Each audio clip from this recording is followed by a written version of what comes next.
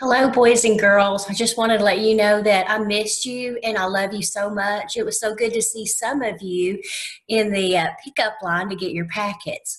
I'm going to be sharing some videos on YouTube to review some of the work for the week and just wanted to let you know that I uh, will have those up for you and I'll send the link through Remind and Google Classroom. Hope you're all well and taking care of yourself. Keep on reading.